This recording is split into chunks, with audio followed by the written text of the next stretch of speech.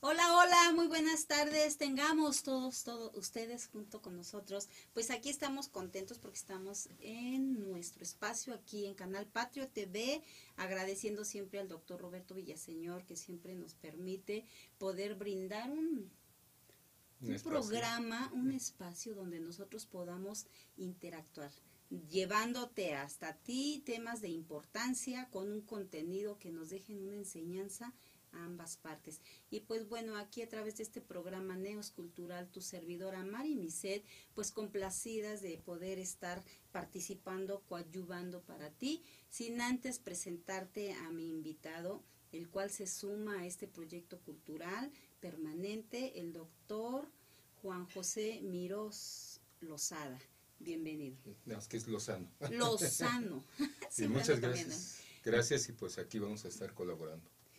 Y, y tenemos mucho que poder eh, aprender de, de- de lo que nos pueda ir compartiendo en- de programa en programa el, el licenciado Juan José, porque aparte hay una dinámica, antes de pasar al tema que nos conlleva lo que es el programa de Mi Renacer, Tu Renacer, donde hablamos de y hablaremos de lo que es la violencia de género, hablaremos de lo que es el tema del feminismo, hasta donde nos lleva lamentablemente toda esa violencia de género hasta el feminicidio y otras más situaciones que son violencia.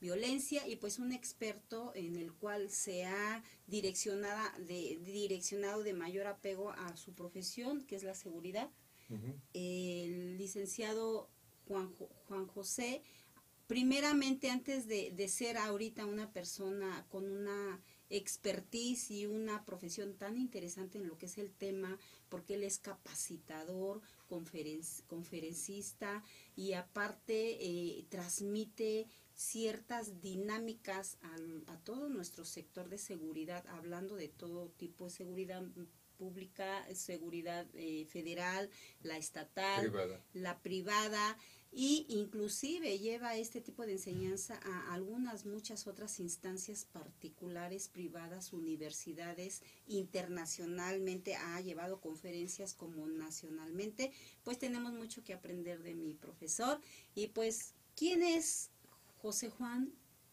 Juan José Mirós? ¿Quién es? ¿Cómo nace la inquietud en ser parte de la seguridad?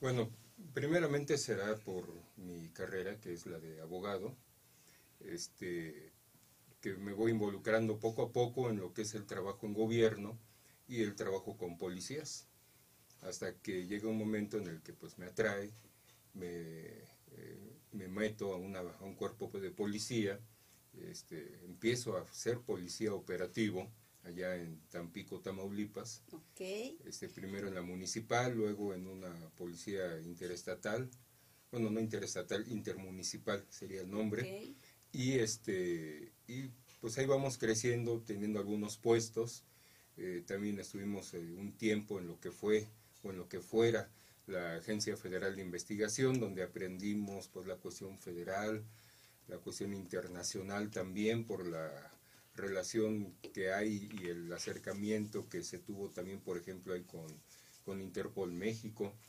Y este y bueno, pues ahí va creciendo todo esto. Me voy capacitando yo también, tomo mis cursos, eh, mis cursos básicos de policía también, etcétera. Eh, aquí, aquí hay, algo- hay una etapa muy importante en su vida, profesor, que eh, cuando nace la inquietud de ser eh, eh, licenciado en Derecho, eh, que nos empiezan a, a- a llevar sobre principios básicos para nosotros como ciudadanos, pero también en la responsabilidad y la ética de ellos como profesionistas. Siempre yo recuerdo en esas clases, este, marcaba siempre la disciplina en la conducta y sobre todo visualizar ¿no? el comportamiento de la otra parte, porque eso es a donde me imagino yo que lo lleva a ese enamoramiento o esa inquietud de que la, el derecho como tal, la disciplina de, de- la profesión de la licenciatura en derecho que se rige de, varias disciplinas, obviamente que, que, que son formadas por la legislación, leyes, fundamentos y, y más, eh, necesitamos otra parte más, que es la seguridad, que es a donde se va usted y, ve su, mete su misión a esa parte de lo que es interactuar como policía, cuál es el comportamiento del policía y cómo le ha ayudado a usted en esta parte, eh, en su preparación como policía, cómo le ha ayudado a usted eh, la carrera de abogado, de licenciado, en la función ya de servidor público en cuestión de la seguridad. Bueno, desde mi punto muy particular de vista, este, lo que viene siendo eh, la carrera de abogado sí ayuda, pero no como uno se imagina siendo policía. Eso es, Esa es la duda. si realmente eh, empieza uno a darse cuenta, sobre todo cuando uno es policía operativo, comienza uno a darse cuenta que pues muchas cosas realmente no son, no, no se pueden hacer tan tan estrictamente como lo marca la ley, ¿no? Eh, se encuentra uno con situaciones en las que uno dice, pues, que a quién se le ocurrió legislar de esta manera, ¿no? Alguien que seguramente no tiene ni la más mínima noción de lo que es ser policía y, lo que es estar en la calle, ¿no? Y, se enfrenta uno a esas situaciones de que a veces lo aprendido como, eh, como abogado, pues no es lo que realmente se puede aplicar este, de una forma tan estricta y lineal como policía. En otras ocasiones sí funciona también, sí sirve, y yo le vi más ese uso en lo personal, eh, ya que el sector de la policía es un sector pues olvidado, es un sector que, ha sido descuidado gobierno tras gobierno y que, y que no, no se fortalece de ninguna forma eh, no se fortalece este, tampoco en lo laboral. Entonces ahí es donde yo eh, empecé a encaminar un poquito más mis conocimientos de, derecho. ¿Qué hizo la combinación? Así es. Este, en lo que viene siendo la protección de nosotros como policías, en el aspecto laboral sobre todo. Pues nosotros podemos darnos cuenta que es un tema que vamos a, a manejar tanto, un tanto interesante porque es hacer una combinación de lo que nosotros sabemos, eh, cuáles son nuestros principios, hasta dónde podemos brincar un límite con conocimiento y hasta dónde nos violentan no teniendo el conocimiento de lo que es el, el reglamento de seguridad porque muchas veces lo desconocemos e inclusive los mismos policías muchas veces inclusive desconocen y ellos violentan los derechos de nosotros como ciudadanos o son violentados ellos como servidores también, expuestos a muchos riesgos, muchos peligros y sin embargo desconocen las violaciones que también en su persona existen. Y pues bueno, este tema mm, cabe mencionar que es un tema de más de mucha importancia, pero antes de entrar de lleno al tema que nos vamos a ir profundamente,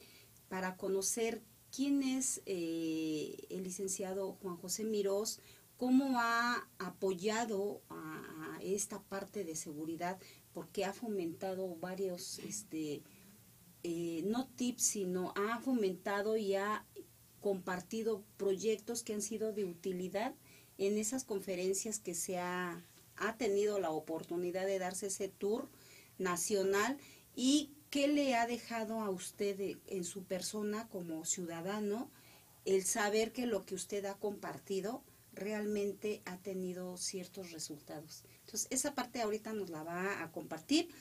Pero antes quiero hacer mención que también se suman a este proyecto cultural eh, la maestra Sonia Gutiérrez Reyes y también el maestro Jesús Arturo Torres. Son personas comprometidas, ciudadanos que aman realmente su país y que también ahorita están trabajando en un proyecto cultural muy importante similar al de el libro que abre este programa de Mi Renacer, Tu Renacer. Ellos tienen ahorita, eh, gracias a Dios, concluido su libro por título eh, como Con amor para ti mujer. Así se llama su libro, digo ya desde su título, eh, trae mucho mensaje, trae esa esencia de que es dirigido y direccionado para nosotras como mujeres. Es un libro de motivación y apoyo de mujeres para mujeres. Es una pequeña remembranza que me manda la maestra Sonia, a la cual le mando bendiciones, saludos, un fuerte abrazo a mi amiga, mi compañera y también al maestro Arturo. Y también obviamente en apoyo está el maestro Jesús que menciono y la descripción del libro dice, es un libro hecho con el corazón y con mucho amor el cual contiene consejos, frases que inspiran, realizados desde la experiencia y el punto de vista de mujeres. Pero no cualquier mujer. Son mujeres célebres que han aportado su talento y conocimiento en diferentes épocas y lugares del mundo, siendo ellas parte fundamental de la historia de la humanidad. La misión de este libro es ser un homenaje y fuente de apoyo para todas las mujeres en el mundo deseando de todo corazón lo disfrute, las inspire, las apoye y nos acompañe siempre. Y yo creo que nosotras, nosotras como mujeres, pero también hombres, pero ahorita me englobo en, el título del libro de mis compañeros y amigos, nosotros somos protagonistas de nuestra propia vida. Nosotros somos protagonistas de nuestra propia historia y este libro que, que de verdad eh, es nacido con el corazón, yo conozco el trabajo de, de, de, Sonia, de Arturo, y son personas que realmente siempre están buscando la, la manera de poder compartir algo que pueda tener un contenido de, de bendición para, pues para la sociedad y en este caso pues este libro que está dedicado para nosotros las mujeres.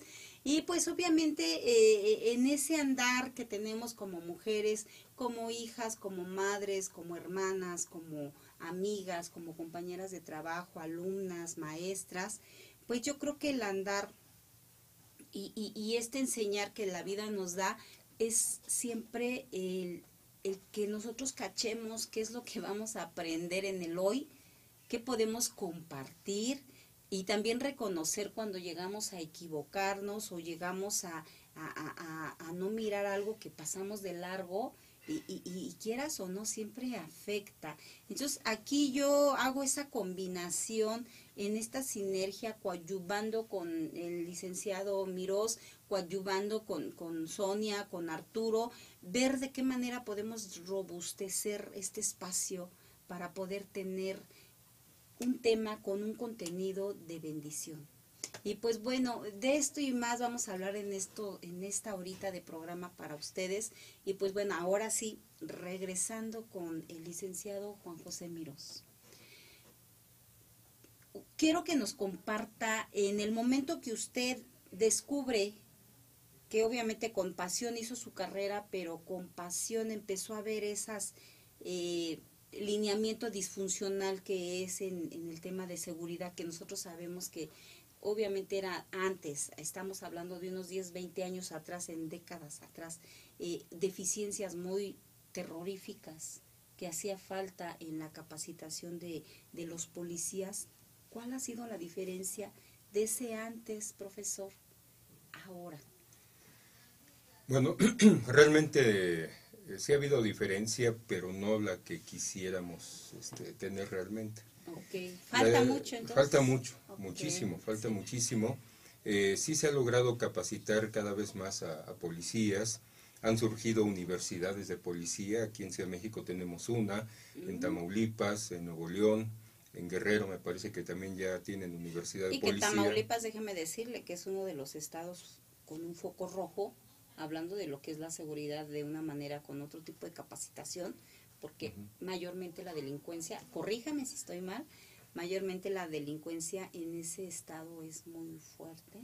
Pues realmente en todos los estados ya es muy fuerte, ¿no? Pero sí tiene razón, es un estado que se caracteriza porque tiene varias zonas calientes. Sí, este, bueno, yo fui policía ya. ¿Caliente en qué parte para los que a lo mejor no, pues es, es, que actualmente podemos este, decir de que un ejemplo en el sur de Tamaulipas siento esa es una apreciación personal siento que ya se ha, ha, calmado un poco ya se ha tranquilizado la situación ya en lugares como Tampico Madero Altamira este ya se vive pues una vida un poco más tranquila en el aspecto de violencia no Ahorita pues lo que tienen es la pandemia, como todos aquí. No, sí, pero este, sí, pero la cuestión de seguridad eh, como focos rojos en el estado de Tamaulipas siempre sigue y seguirá siendo la frontera con Estados Unidos.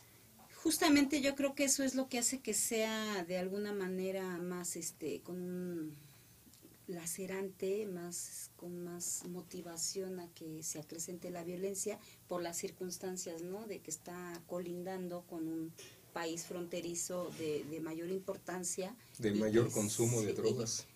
Y, mayormente eh, fuerte en el consumo de drogas.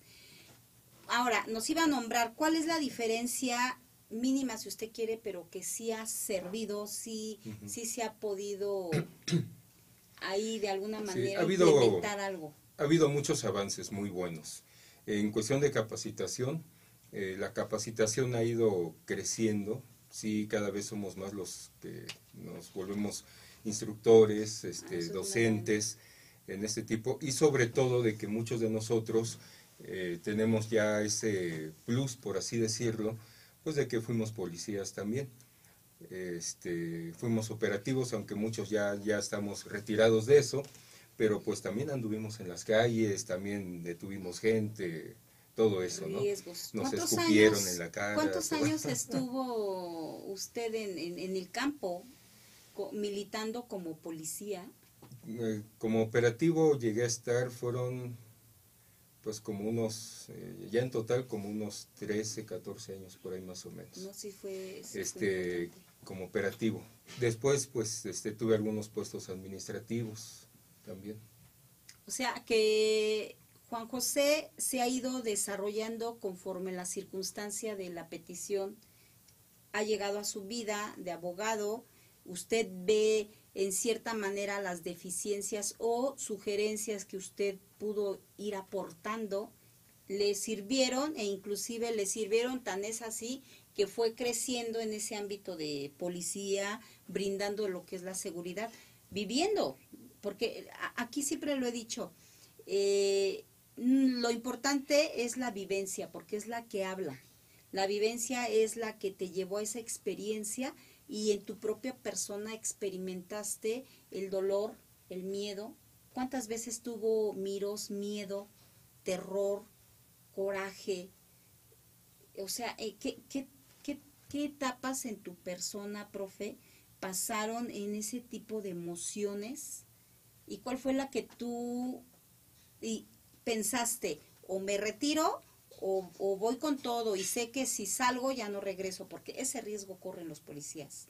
¿En qué etapa de tu vida como policía sentiste ese, e, e, ese combinar de sensaciones y sentimientos? Pues creo que se siente desde que entra uno a la academia, ¿no? Prácticamente, ¿Sí? yo creo que sí. Porque Cuando entran con ese compromiso, ¿no, profe?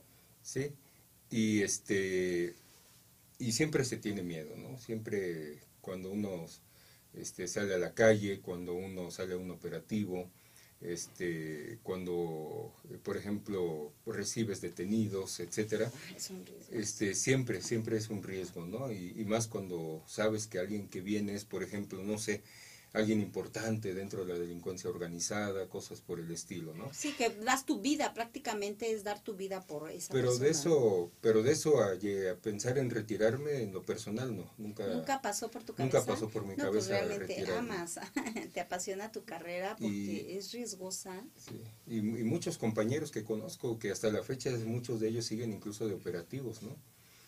Este, en este, eh, también eh, regresando un poquito a lo que comentábamos de los avances, este, también tenemos, este, aparte de que cada vez hay más instructores y todo esto, eh, han surgido con el tiempo muchas asociaciones policiales en México. Este, algunas nacionales, otras internacionales, pero este, a lo que voy es de que todo esto ha hecho que se impulse pues la capacitación policial de calidad. Eh, en muchos lugares no se da. Eh, puedo decir, por ejemplo, una universidad de policía de la Ciudad de México tiene una capacitación de primer categoría, pero nos vamos a municipios pequeños o incluso aquí mismo en Ciudad de México vemos que desgraciadamente algunos policías como la policía auxiliar pues no reciben la capacitación suficiente, ¿no?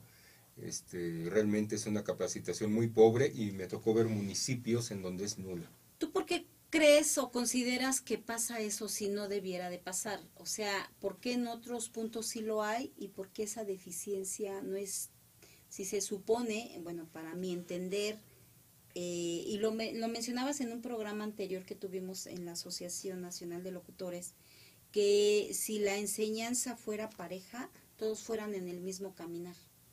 Pero si no es dispersada de la misma manera, eh, ahí es donde entra la deficiencia, porque no todos tienen la misma capacitación en, en, esa exigencia.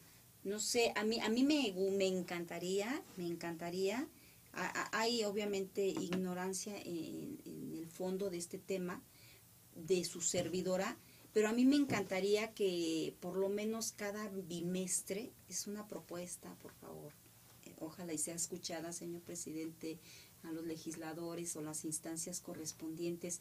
Me encantaría que cada bimestre se hiciera, se diera una capacitación completa, hablando eh, en todos los aspectos psicológicos, eh, físicos, eh, académicos, académicos, pero en el sentido de hablando de la integridad y las condiciones desde que detienen a una persona, cómo la deben de tratar psicológicamente, porque hay daños psicoemocionales a veces, y no nada más para el que detienen, sino también para el que, al policía, ¿no? Que está ejerciendo su, su, su trabajo y su fuerza o su destreza con esa capacitación.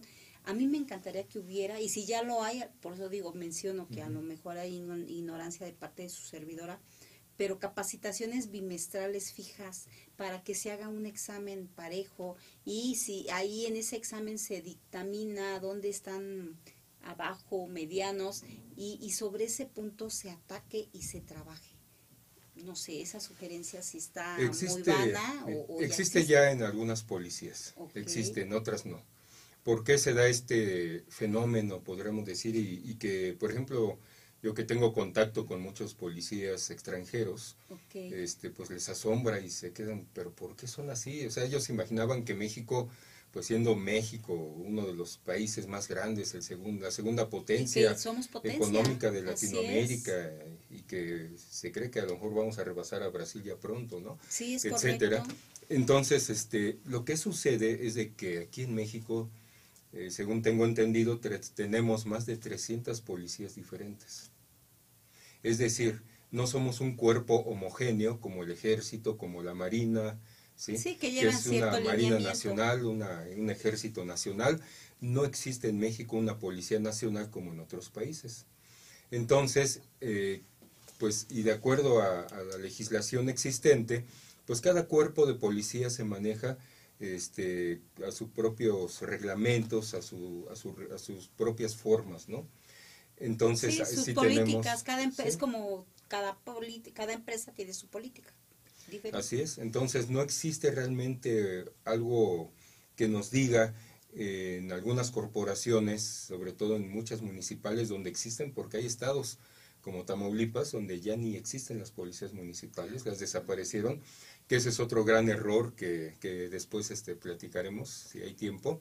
No, debe, lo vamos a tener, prometemos hablar e, exclusivamente de ese tema porque a mí me parece de importancia, porque justamente, perdón que te interrumpa, profesor, estos medios son para eso, para que nosotros de alguna manera apoyemos, suger podamos hacer unas sugerencias que puedan ser de apoyo ¿Por qué? Porque justamente eh, esto es lo que nos va a invitar a crecer.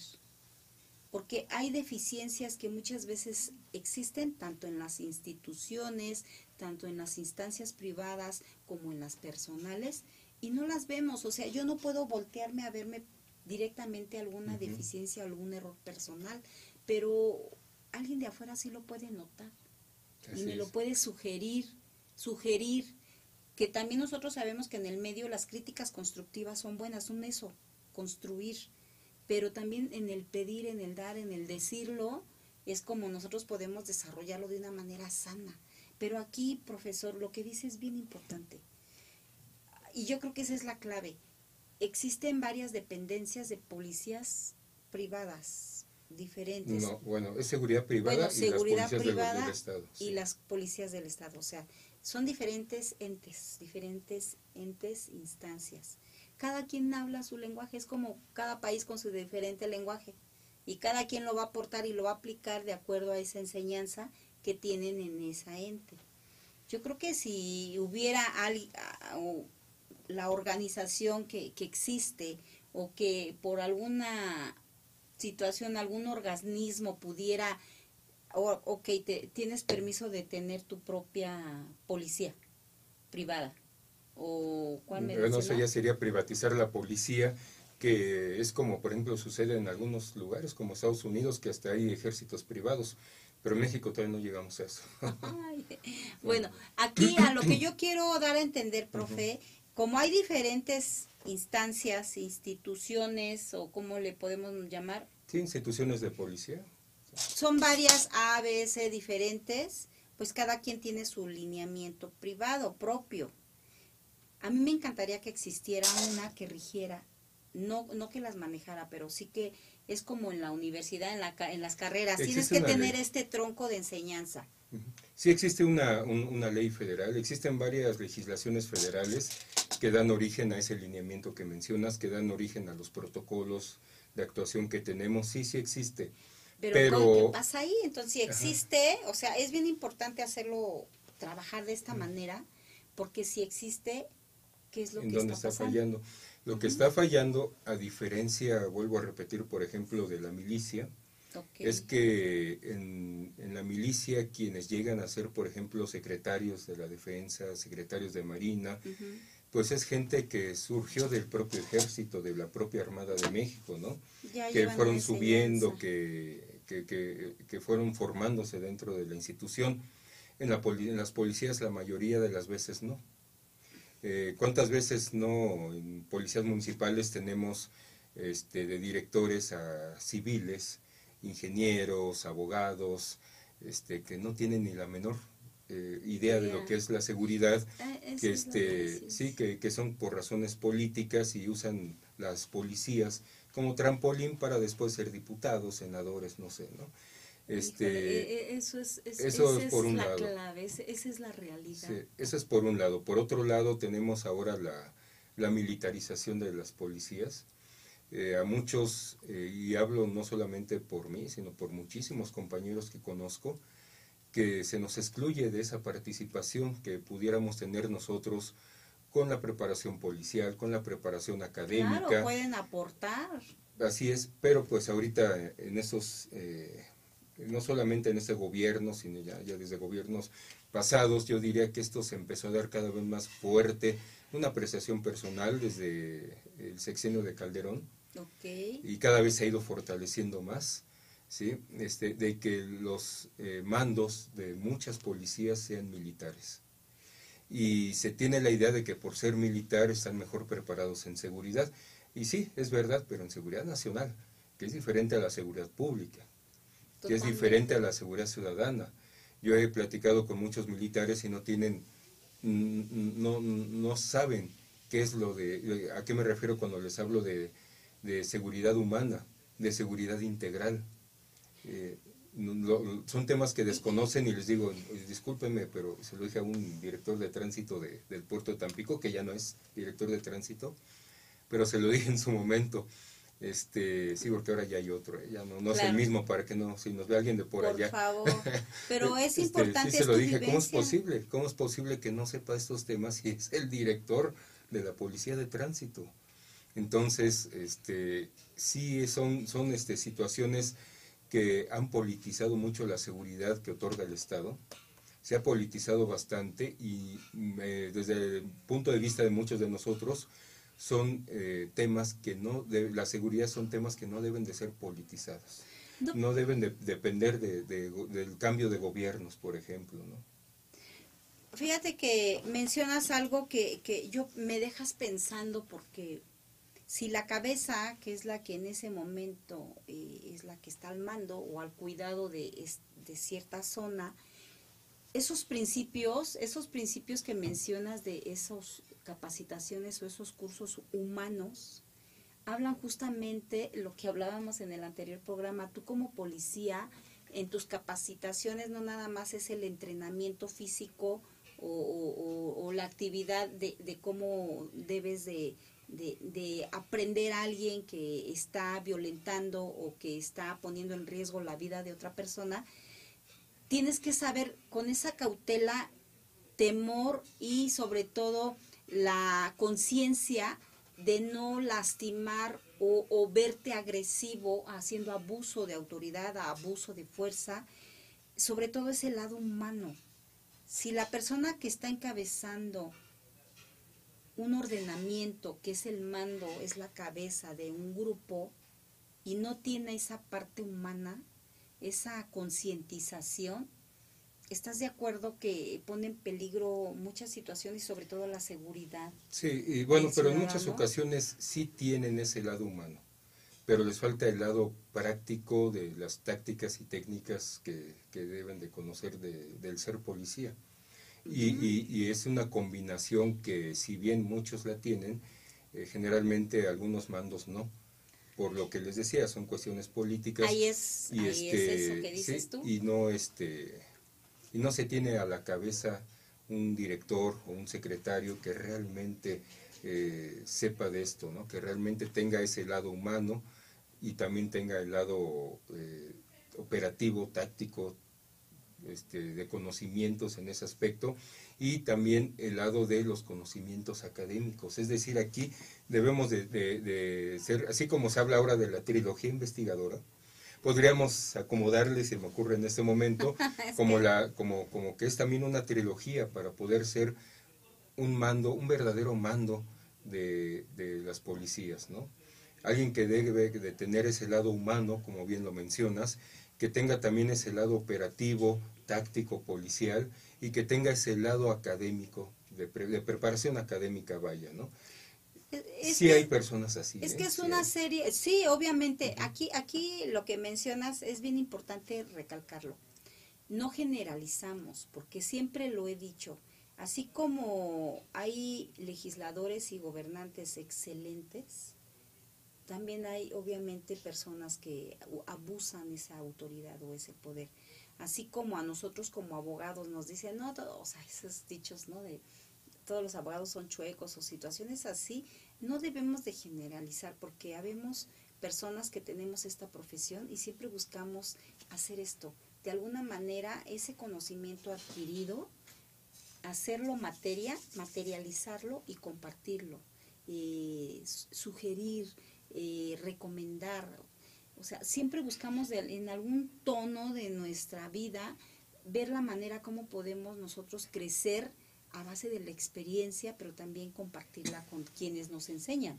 Entonces, aquí si hacen ese, esa, esa parte o ese cuadro de combinación de cada uno de esos elementos principales, que es la capacitación, la técnica, el conocimiento, la teoría, y, y, a eso le sumamos lo humano, le sumamos eh, eh, eh, el amarte a ti mismo, el amar a tu país, el amar a tu prójimo, eso lo va a robustecer de una manera así como concientizar. Es lo que ahora se está, bueno, que no está nuevo, pero en México, desgraciadamente, algunas cosas en estos aspectos son apenas del conocimiento de muchos. Es lo que referimos precisamente al hablar de seguridad humana. Así es. Y, y que, quería dar otra, otra forma en la que también se ha visto avances aquí en México. Ah, eso es bueno. Vuelvo a repetir, sí, vuelvo a repetir, no en todos este, los estados, no en todo el territorio nacional, pero sí en algunos lugares. Y, aquí me gustaría mencionar lo que se ha logrado hacer en la Policía de la Ciudad de México. Ay, por favor, que, lógicamente, como todas las policías, pues ya se había hecho de una gran mala fama y creo que esto se va subsanando poco a poco de la mejor manera, ¿no? Han llegado personas con conocimiento, eh, de causa, podríamos decir, a la policía de la Ciudad de México, que han dado ese nuevo aire ¿no? que se necesitaba para una mejor profesionalización y sobre todo para una mejor eh, visión de la ciudadanía hacia nuestra pues policía. Suena, muy bueno. Aquí, eh, por ejemplo, es del conocimiento de muchos, seguramente de los que nos están escuchando y viendo, de que eh, se está manejando y ya por varias generaciones el programa de mentoría en la Universidad de Policía de la Ciudad de México.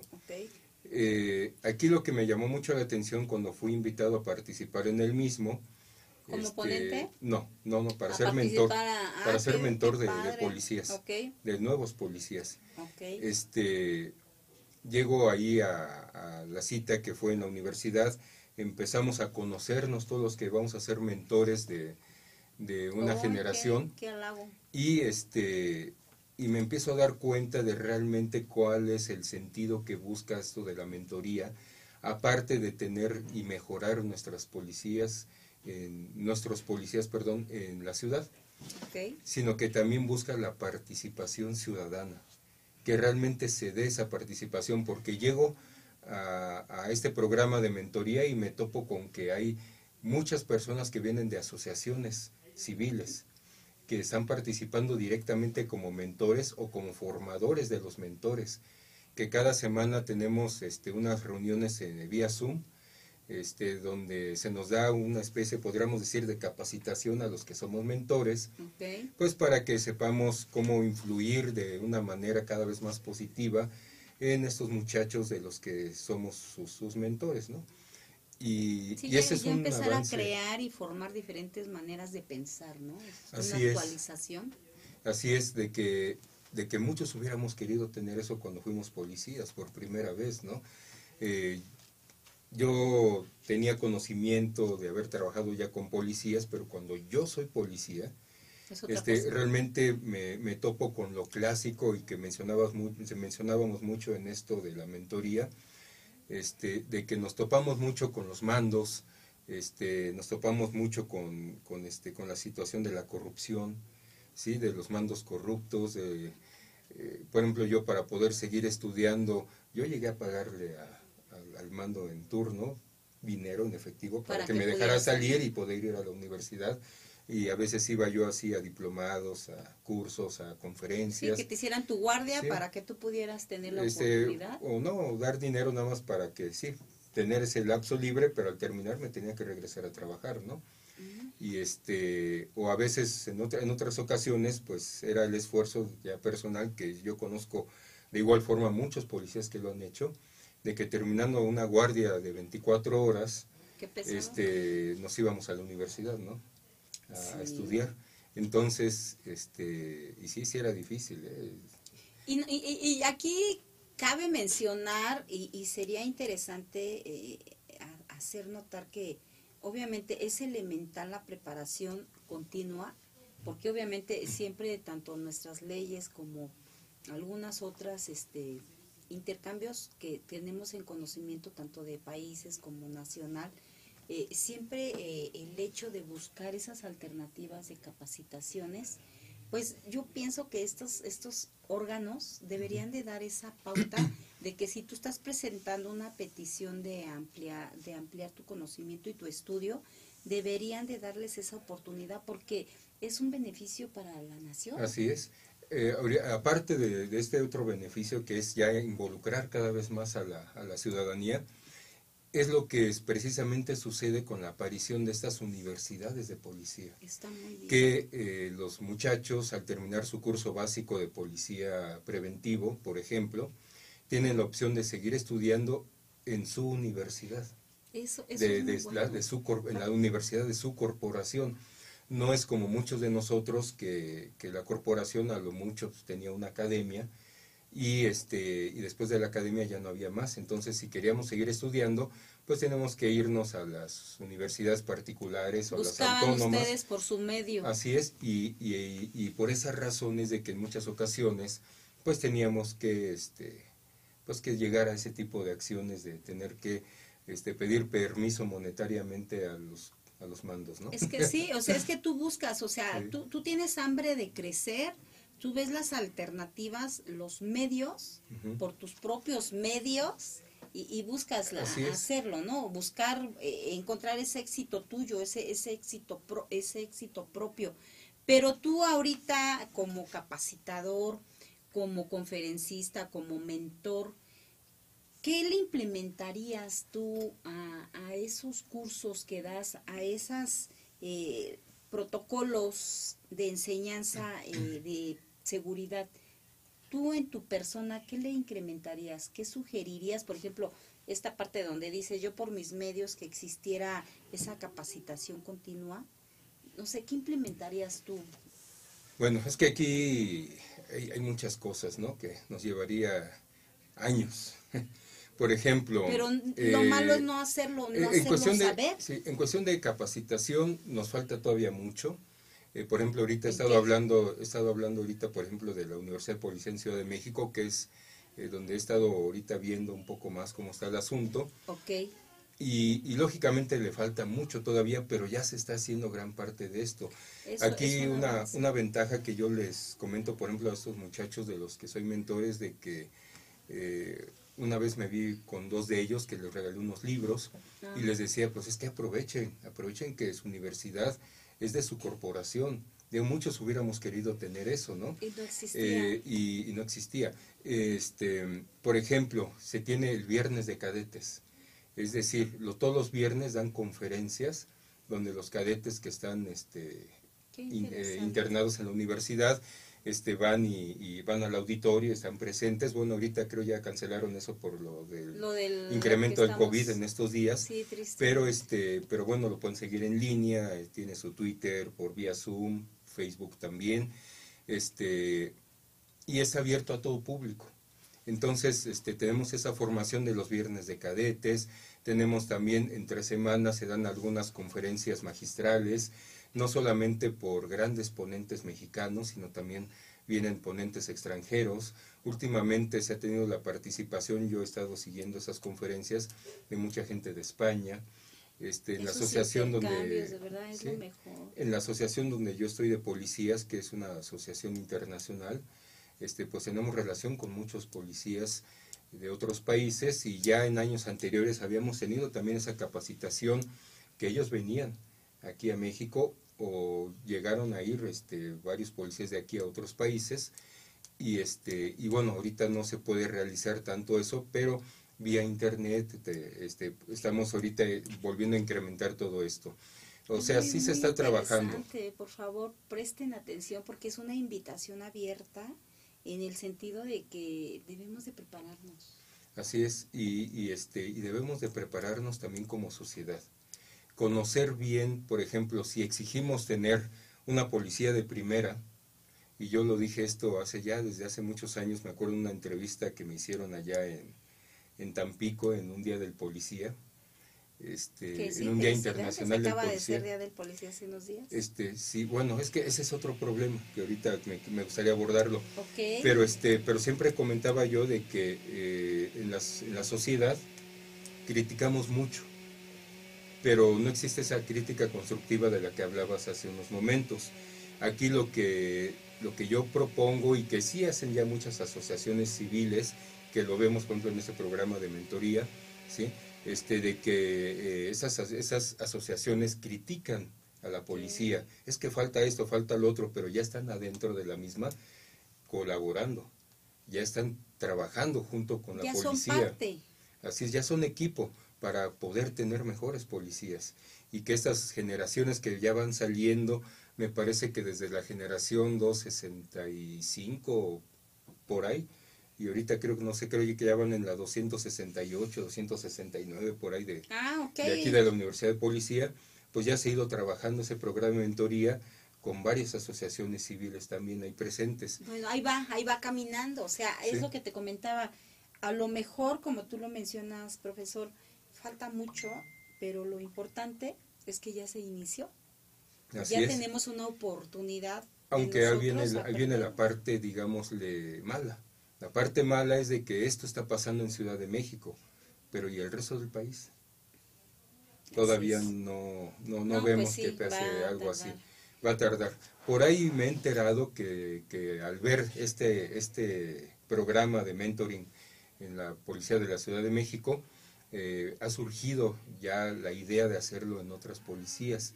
Por ahí me han platicado, pero ha quedado como plática nada más. Pues, pues, pues, digo, yo creo que este tema a todos nos atañe, a todos nos debe de atañir, más bien corrijo la palabra porque a todos nos debe de preocupar.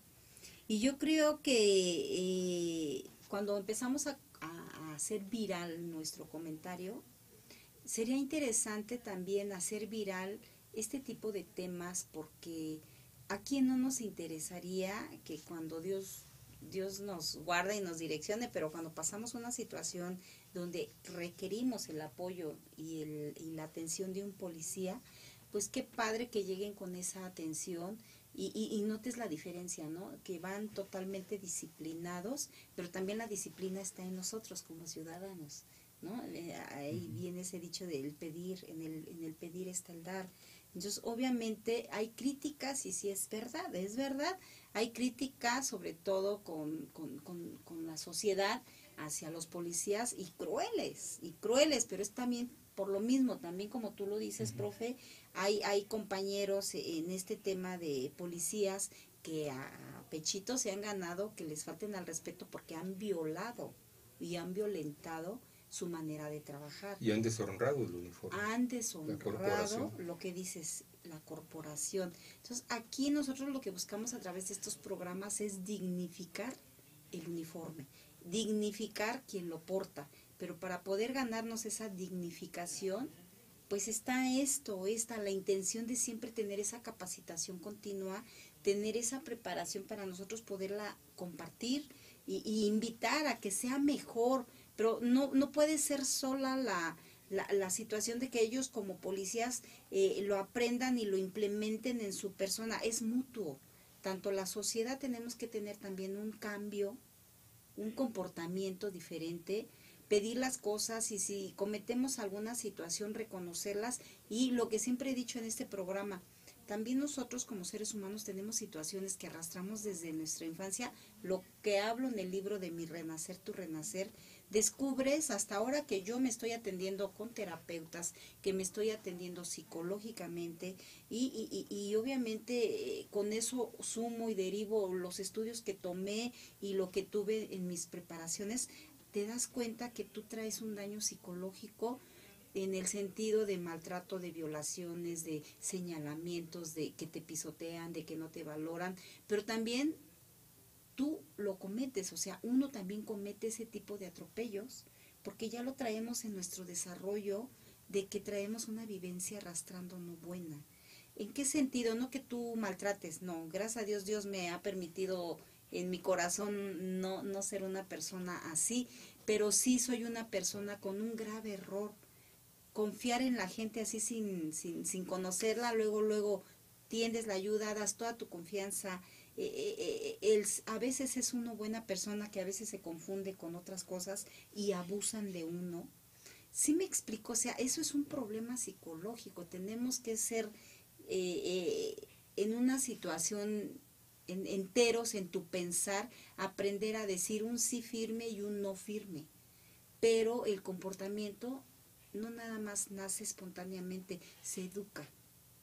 Se educa para tener una, una educación donde yo pueda pedir el respeto, pero yo también tengo que aprender a respetar. Y yo conozco así como a mi profesor, lo conozco como abogado, lo conozco como policía, lo conozco como conferencista, como mentor.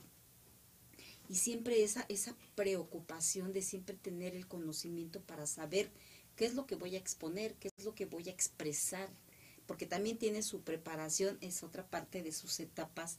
Él también se preparó como conductor, como locutor y sabe el compromiso de tener un micrófono en la mano y saber que lo que decimos tiene que ser con cierta responsabilidad para no afectar y no agraviar, no agraviar o, levantar ahí situaciones violentas en otro lado y genere esto otra violencia. Entonces, esa parte yo creo que es la que a ti te ha dado como policía, como profesionista, como mentor, esa cálida responsabilidad de darte cuenta qué es lo que hace falta arreglar y qué es lo que hace falta fortalecer. Sí, eh, hace falta mucho, te digo, en las policías. Hablábamos hace rato de que las policías municipales en muchos lugares han desaparecido y este y para muchos de nosotros esto es gravísimo porque eh, pues las policías municipales es la base. Es la base porque son los municipios, la base incluso social y política de un país. Entonces, este, lo mismo sucede desde el punto de vista policivo, es, ¿no? es muy delicado. Sí. Es muy delicado. Este, la capacitación, vuelvo a repetir, quizás no sea la mejor, pero pues en algunos lugares ahí vamos avanzando. Este, tenemos mejor policía incluso que en algunos otros países, es verdad, pero hay otros que, este, que quisiéramos ser como ellos en cuanto a ese plus que buscamos en todos los cuerpos de policía y que es un plus no de mayor preparación operativa, táctica y técnica, eh, no, no de mayor preparación académica, no solo de eso, sino de aceptación con la ciudadanía. Eh, ahora sí, sí, ahora se siguen los modelos de proximidad, de policía de proximidad.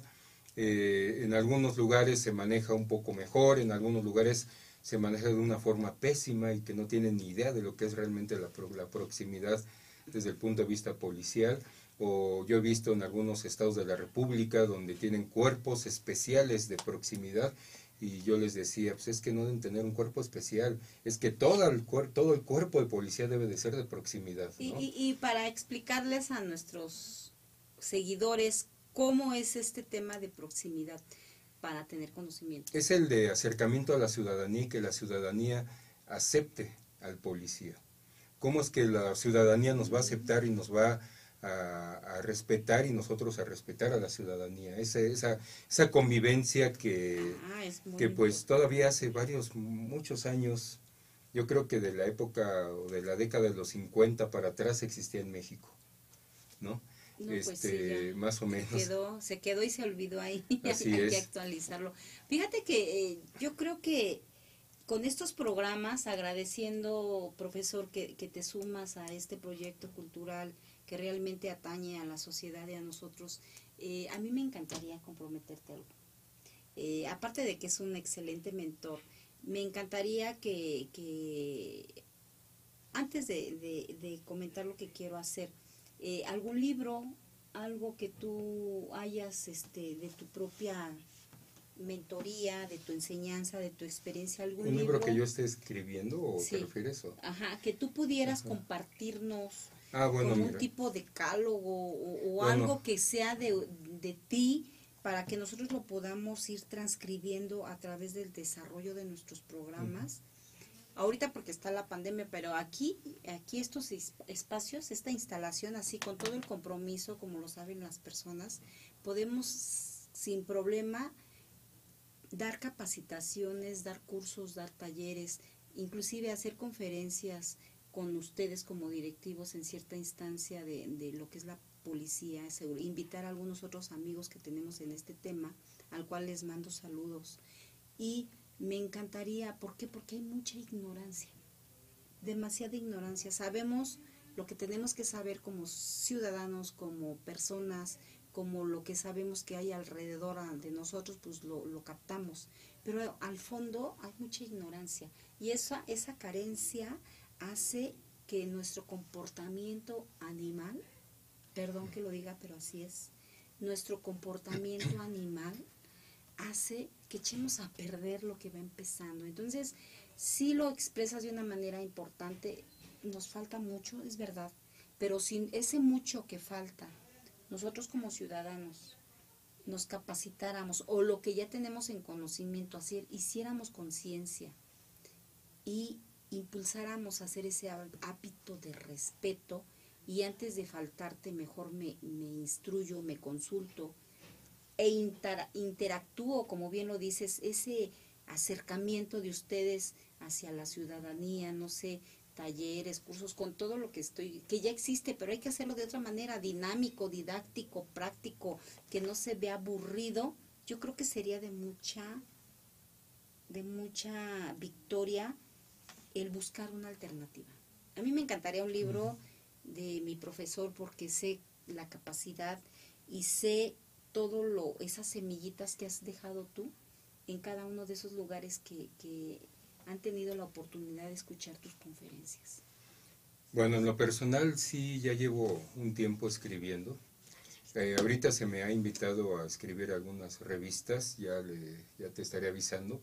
Perfecto. Y este y sí, sí, sí, estoy haciendo un libro que pues no sé, yo creo que quizás el próximo año ya salga, pero es sobre derecho de policía. Ah, eso está muy bien. Sobre derecho de policía, que aunque en México tenemos una legislación eh, para las corporaciones, yo siempre he dicho que es una legislación un poco dispersa y que podríamos conjuntar, como sucede en otras partes del mundo, en, el, eh, en un derecho de policía. Así como tenemos, por ejemplo, un derecho castrense, pues ¿por qué no tener en México también un derecho de policía? Y, y hacemos el intercambio con otros países porque eso es fortalecer. Así es. Mm. Y ya, lo, ya lo motivamos, ya lo incitamos a que tenemos que tener algo de él, porque esa experiencia que no es de 10 ni de 20 años, esa experiencia que has tenido con, como mentor, al conocer diferentes maneras de pensar con todos y cada uno de, digo, yo me siento halagada de también haber sido tu alumna, eh, lo que tú has vivido en esos lugares de, focos rojos, en esos lugares intermedios donde pues es, es aparentemente pueblos pequeños, pero también se necesita de la seguridad, es un implemento que, que, que yo pienso fortalecería lo que te estoy invitando y que me da gusto saber que ya lo estás haciendo escribir, escrito, que haya un protocolo escrito, diseñado para estas nuevas generaciones que son tus nuevos alumnos. Así es, bueno, como lo mencionas, ya, ya, ya existen, ¿no? Ya existen protocolos, ya existe todo eso, solamente es, pues sí, este, darlos a conocer, eh, más sobre todo a la ciudadanía, que es la que más desconoce que ya existen protocolos, este, enseñarles incluso, yo, yo me atrevo a decir, enseñarles a, a, estas personas que son políticos, que se, les gusta la política, este, que algunos de ellos, no digo que todos, pero algunos de ellos se sienten expertos en seguridad y no lo son. este, es que es verdad eso. Eh, enseñarles realmente lo que viene siendo la labor policial, pues para que pueda hacerse algo bueno, ¿no? Eh, ya llevamos, por ejemplo, una lucha de hace muchos años, diferentes organizaciones, asociaciones de policías en México, eh, donde pues tratamos de dignificar desde el punto de vista laboral también. eso es bien importante. Este, sí, los policías somos este, un poco descuidados en ese aspecto. Eh, de algunas policías como la Ciudad de México tienes, tiene muchas eh, prestaciones, etcétera, pero nos vamos a provincia y ahí vemos que hay policías que ni siquiera tienen... Bueno, sus patrullas. Bueno, ahí, son, ahí son problemas muy, de muy todo, graves. O sea, en todo. Fíjate que yo, a mí me pasó una anécdota muy triste hace cuatro, hace cinco años. Este, yo estuve en Acapulco, me fui de paseo con, con una de mis hijas y de verdad a mí, a mí me, me, siento, hasta recuerdo y siento fuerte porque así feo en mi corazón, porque eso de en esos lugares, en esos lugares donde no existen o que ya definitivamente quitaron a los policías, o sea, ¿dónde corres? O sea, ¿a quién le pides ese auxilio? Eh, cuando yo fui a Acapulco nos, nos metimos a la playa y había una familia, pero era una familia como de seis personas mamá, papás, este, había adultos y había tres menores. Pero en una de esas yo veo que los papás, los señores estaban muy tomados, mucho, mucho, muy tomados. Y justamente fue ahí en la playa de las hamacas. Se llama esa playa y este había mucho pescador ahí, me acuerdo. Y yo iba de paseo porque me recomendaron comprar ahí un ropa de, obviamente de, de época de ahí y este y yo vi que eh, gritaban auxilio, ayúdenme, entonces eso me hace voltear, me hace voltear y este, porque le dije a mi hija, vamos caminando por la orillita de la playa, ¿no? Porque es para sentir el mar. Y en eso empieza a gritar una niña, una niña de 12 años, y, y la demás familia, jajaja, estaban tomando, gritando. Pero yo veía que la niña gritaba y nadie les hacía caso. Entonces yo volteo y veo a la mamá, a la que yo supuse que era la mamá de la niña, y este y ella le decía, ay, deja de gritar, y o sea, con expresiones así groseras, y entonces yo decía, ¿por qué grita? O sea, se está ahogando, y quién sabe cómo ya me fijo bien en, qué, en el cuadro qué es lo que estaba pasando, y el papá o el tío, eh, porque ella gritaba, no tío, déjame en paz, tío, déjame en paz. Y el papá enfrente de ella y otra señora la estaban agarrando. Estaban a ciertos metros adentro del mar y pues resulta que el tío la estaba violando. Y la mamá ahí agarrándola y el papá, déjate. Y, o sea, algo, un cuadro muy fuerte. Eh, entonces yo, yo soy muy de, ahora ya lo pienso, pero soy muy arrebatada. Entonces yo luego en ese momento yo me quise meter. O sea, desconociéndome y no midiendo el riesgo, pues estaba en Guerrero, gente que eh, obviamente estaban tomando, pues podían tomar alguna agresión hacia mi persona. Entonces yo grité, entonces lo que se me hizo a mí fácil fue meterme a un restaurante que está ahí entre la playa y le dije, por favor, ayúdenle, esa niña le están, la están violentando y su mamá, su familia no le está ayudando.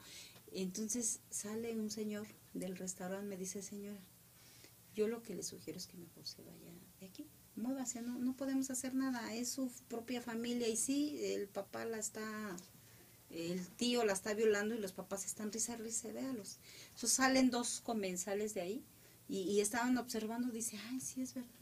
Yo le dije, pero no van a hacer nada, por favor, este, un policía, o sea, el policía tiene que hacer algo. Entonces yo corro como loquita ahí alrededor, así cercanamente en los locales, en los mercados, buscando un policía.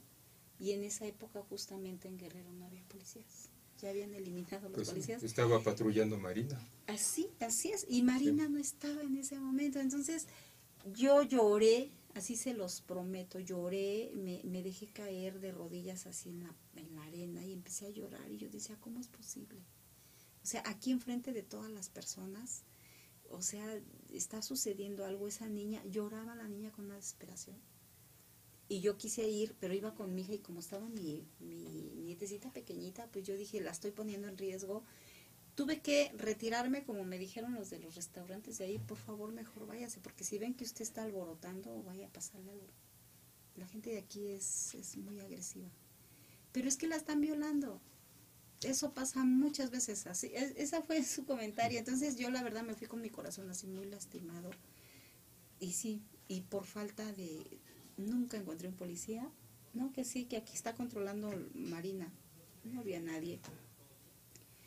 Y entonces, ¿qué hacemos? Imagínense, es, es, muy delicado.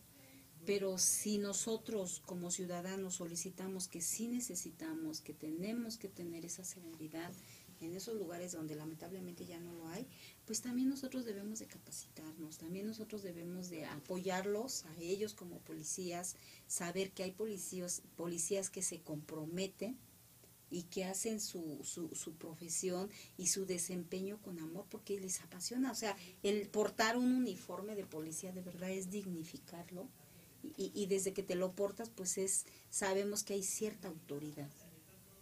Pero nosotros tenemos que trabajar de la mano con ustedes.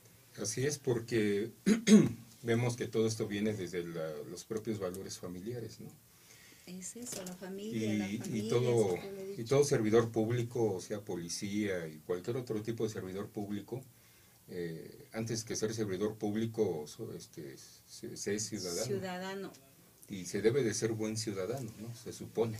Pero si tú traes ese temor lo que comentábamos nosotros en este, en este programa que hablamos de dónde está tu renacer, dónde está mi renacer en el momento en que sueltas lo que sabes que a ti te afecta, que a ti te daña, que a ti te tiene esclavizada.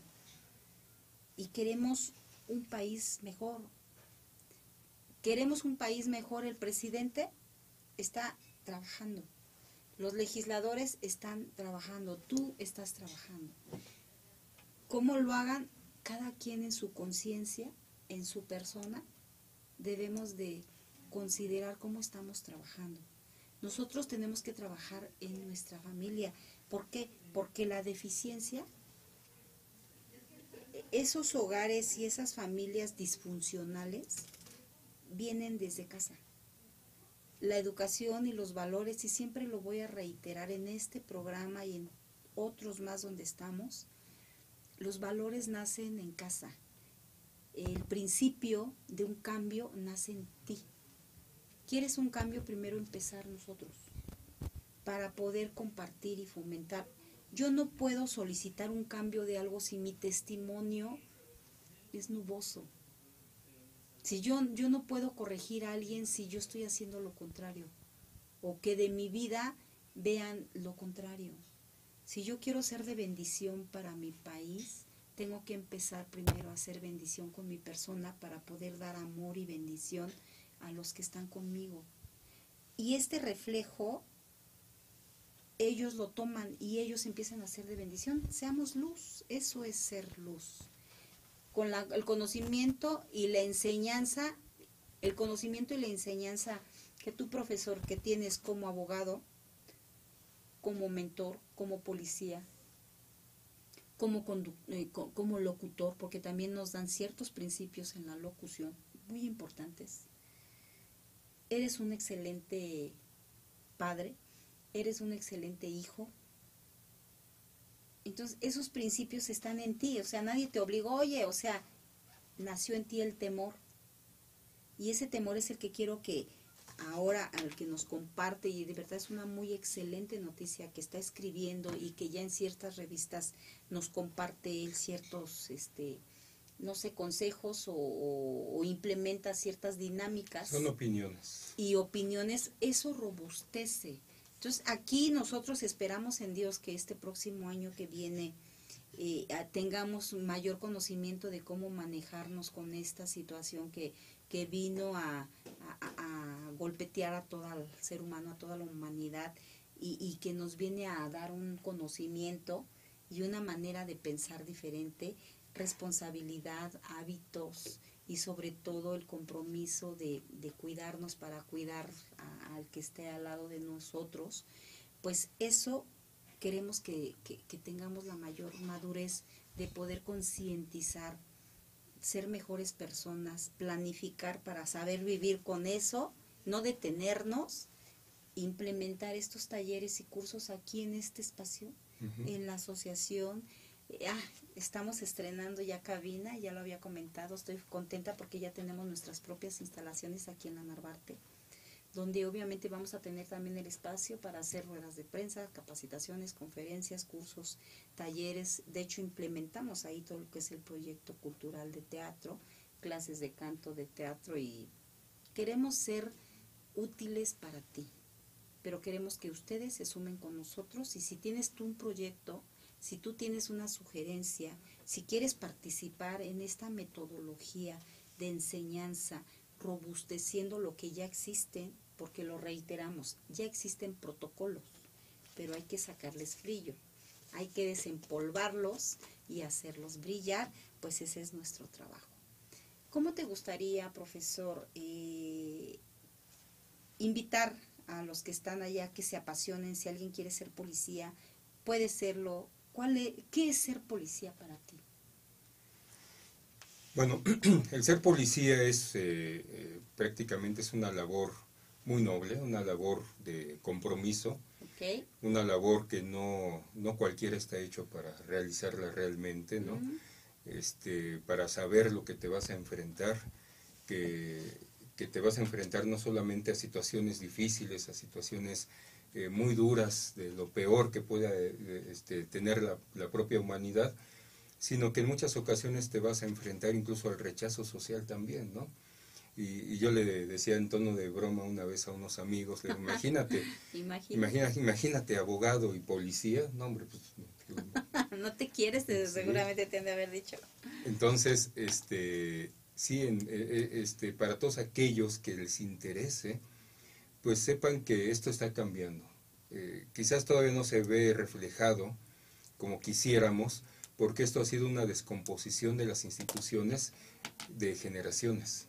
Eso, y, súmale el, horror por el desconocimiento de la sociedad hacia ustedes, porque hay, hay, esa situación. Sí, el desconocimiento de la sociedad, la politización, y vuelvo a insistir, de la seguridad, que no debe de depender de los cambios de gobierno, ¿sí? Lo vemos ahorita tan, tan solo, ¿no? Que desaparece, que es una policía federal que si bien eh, sí tenía su lado corrupto, en vez de luchar por eliminar ese lado corrupto, pues, ¿qué, es más fácil? Ah, pues la desaparecemos, ¿no? Al fin que tenemos la Guardia Nacional. Y la Guardia Nacional, que podría ser otro tema también, ya para otra ocasión, este, lo mismo, ¿no? Este, bueno, vamos a formar un cuerpo de Guardia Nacional, civil, este, de policía civil y todo esto y vemos que prácticamente en un 80% es militarizado, ¿no? Y no puede ser de esa manera. Pero, este, pero bueno, les digo, este, esto, esto es por la politización de la seguridad, el mal manejo de, de muchos políticos que se sienten expertos en el tema y que no lo son y que desgraciadamente cuando uno les dice que no son expertos, pues no pasa de ahí porque son quienes tienen el poder, ¿no? Sí, fíjate que, perdón que te interrumpa, haces mención de algo, eh, yo, yo siempre lo he dicho, yo hablo como ciudadana mexicana, y criticaron mucho a nuestro presidente López Obrador en el sentido de, de cuando quitó las fundaciones y organizaciones porque ciertamente, o sea, yo ahí, ahí yo le aplaudo en, el, en qué sentido. Había mucha corrupción y muchas personas se les hacía fácil abrir o, poner una fundación para obviamente extraer el recurso. Eran los elefantes blancos, o sea, sí, lo uso para esto, dura un poco tiempo y desaparece. Eso fue eh, erradicar con ese cáncer, Tú ahorita eh, comentaste algo muy acertado.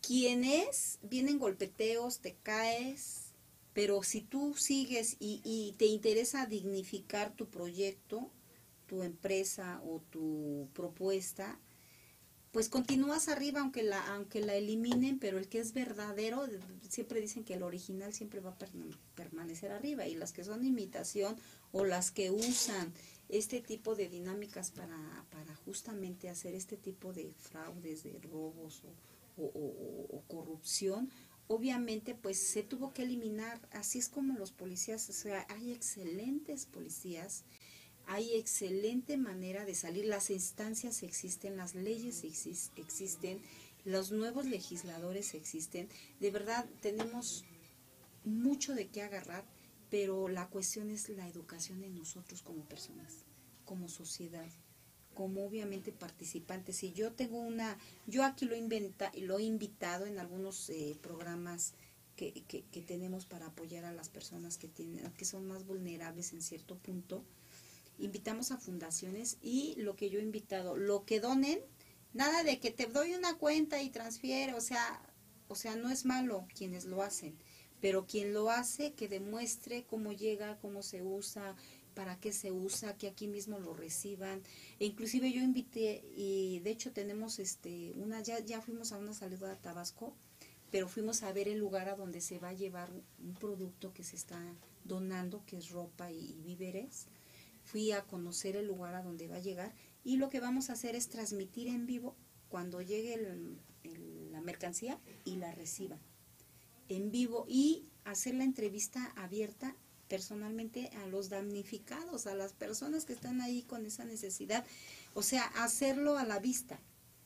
Entonces, hay ciertas dinámicas o técnicas que se tienen que hacer porque sí es cierto que hubo situaciones que fueron un escalón útil para la corrupción y para robar y para hacer fraudes y shalala, shalala. Entonces, esa historia ya todos nos lo sabemos.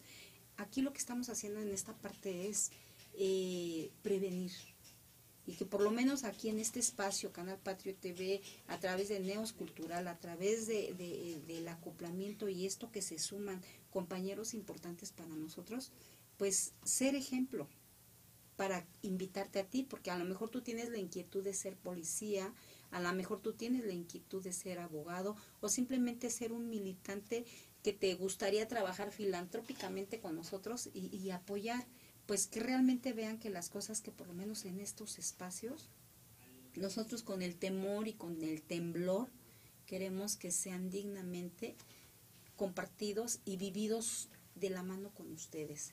Entonces, no sé, ah, yo te aplaudo eh, esta parte. Felicidades por la invitación de ser mentor en esta academia importante nacional. Sí, universidad. La Universidad de Policía, o sea, de verdad. Sí, somos muchos los que estamos ya trabajando. Empezar, está trabajando, de verdad, el gobierno está trabajando, pero el trabajo no nada más es el del gobierno, no, no perdamos el tiempo a lo mejor quejándonos, más bien sumémonos y si hay una sugerencia tuya, proponla y si hay algo que no te gusta, escriba una carta directamente al presidente, directamente a quien tú sientas que no se está trabajando en el orden.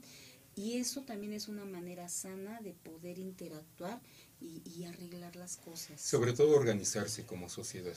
Organizarse. organizarse como sociedad hay, eh, hay asociaciones civiles a las que uno ya puede pertenecer, o por qué no, formar la propia, ¿no? Pero, pero fuera de esa visión, como bien lo dices, del negocio, ¿no? Así es, entonces yo creo que tenemos mucho trabajo nosotros como ciudadanos y pues me encantaría que le dieras un mensaje a, a nuestros seguidores, que les abras la invitación para algún tema en particular o alguna situación que tú quieras compartir en este medio que ya tenemos en locución, por favor, maestro, va a ser de mucha importancia. Bueno, pues simplemente agradecer y este y bueno, en estos temas de seguridad que, vamos a empezar a, platicar en estos días. Organizarnos. Ah, este, así es. Pues eh, que sepa la ciudadanía que se está trabajando. Como dije anteriormente, es un problema que tenemos de generaciones atrás y se va a solucionar o vamos a ver los cambios generaciones más adelante. Pero pues ya, ya así es, ya vemos gente trabajando en esto.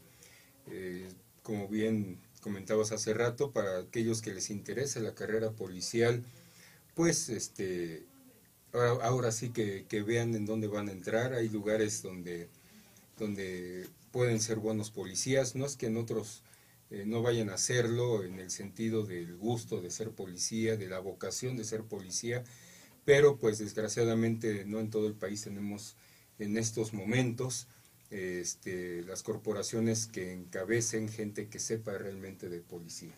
Ah, eso es muy interesante. Eh, lógicamente, en algunos lugares como Ciudad de México hay gente que maneja cuestiones eh, de las políticas que se manejan dentro de la policía que en lo personal no estoy muy de acuerdo eh, y que considero gente que no conoce del medio, pero también hay gente que sí conoce del medio y que es, la que ha estado implementando cosas positivas por mejorar, ¿no?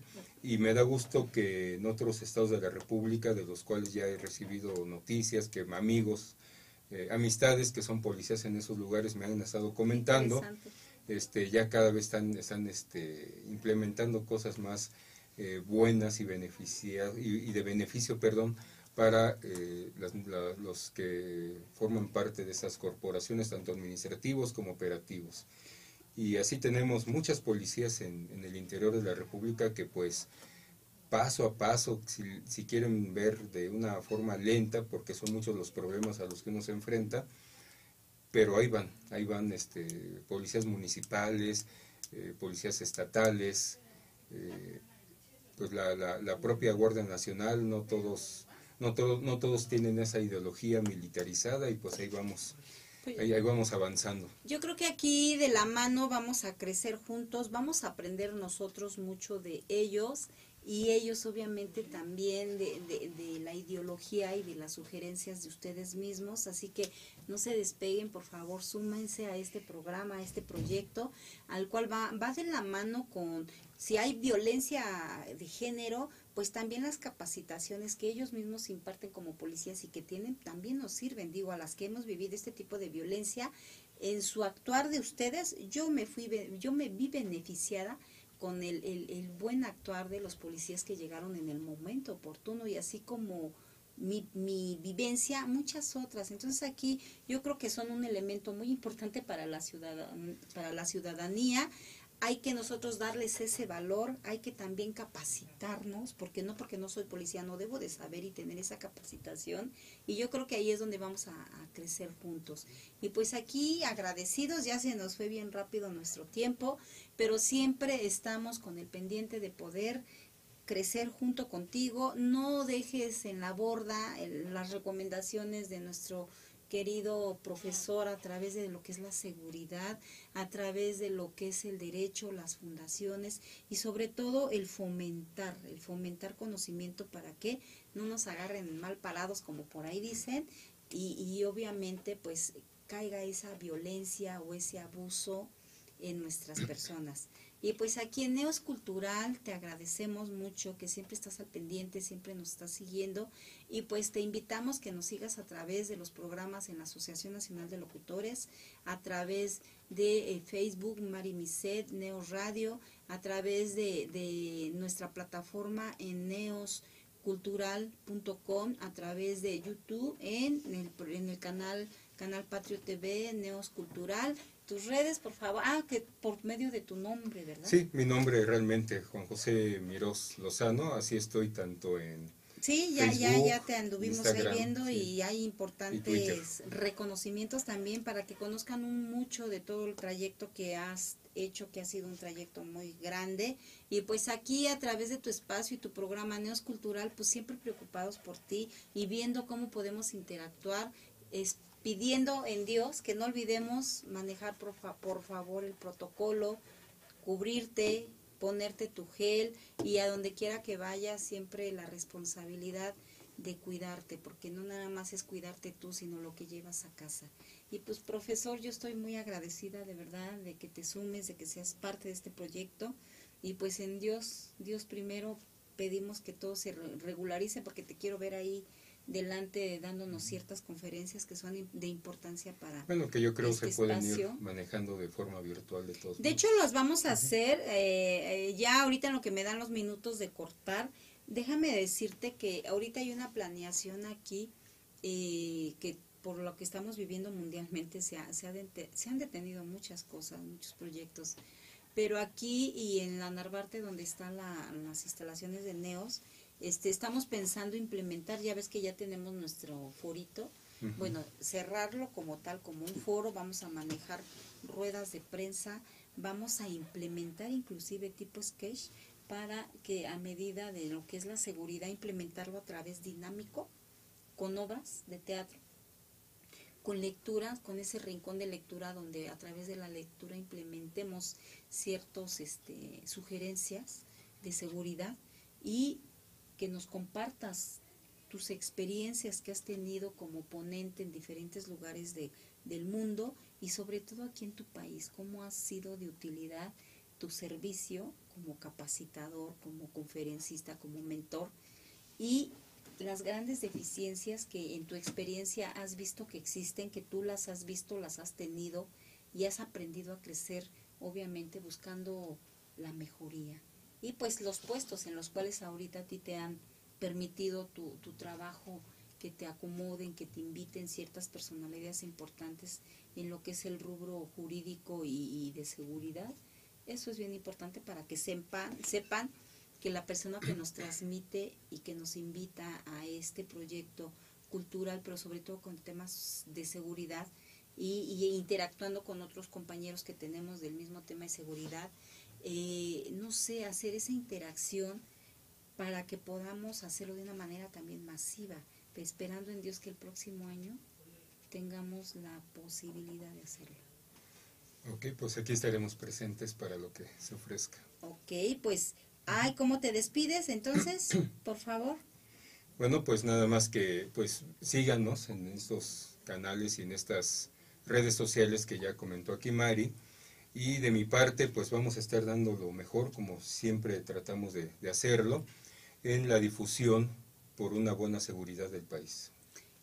Este país es tuyo, cuídalo, pero sobre todo cuida tu hogar, cuida tu vida y trata de que si quieres un México diferente, empecemos desde nuestros hogares, desde casa para que empecemos a desarrollar mentes diferentes. Esas nuevas generaciones que tengan otro chip. Confianza, concientización, amor. Si tú creces a tus hijos con amor, abrázalos, bésalos, diles que sean buenas personas. Y si tú con ese testimonio de vida de tu persona permites que tus hijos te vean como ejemplo, créeme que vamos a tener un México diferente. Dios les bendiga, estamos a sus órdenes y nos despedimos. Chao. Gracias.